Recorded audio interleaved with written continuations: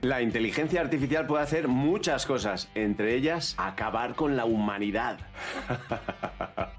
Y es que se habla de un punto en el desarrollo de la inteligencia artificial llamado singularidad, en que superará a la inteligencia humana, aunque bueno, leyendo los periódicos tampoco parece muy difícil. A partir de ese punto se espera que la inteligencia artificial vaya mejorando de manera exponencial, realimentándose a ella misma, y sea capaz de superar la inteligencia humana en todas las tareas, incluyendo creatividad, empatía, inteligencia emocional.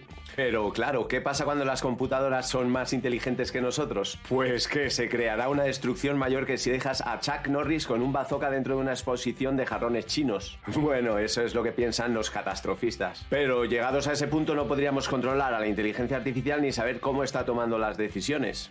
Y también hay preocupaciones éticas y morales. ¿Cómo tratar a las máquinas si son más inteligentes que nosotros?